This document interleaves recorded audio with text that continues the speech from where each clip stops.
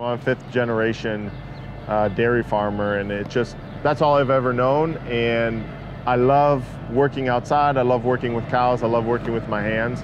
So it's really not work coming in every day. I'm happy that I know that I'm providing a safe, nutritious food for Americans.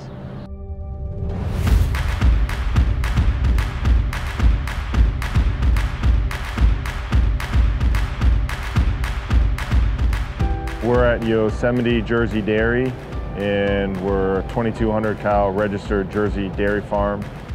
When they become milk cows, we have a Allflex monitoring system that goes on right away.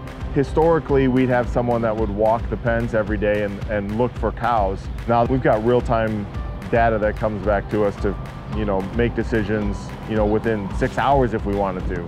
So we can tell if cows are in heat or not feeling well. I mean, it paints a clear picture of what the cow is actually doing. It's great for us because we've got 2,000 cows and we want to be able to manage every single cow individually, but we can't go look at every single cow every minute, and the system does that for us.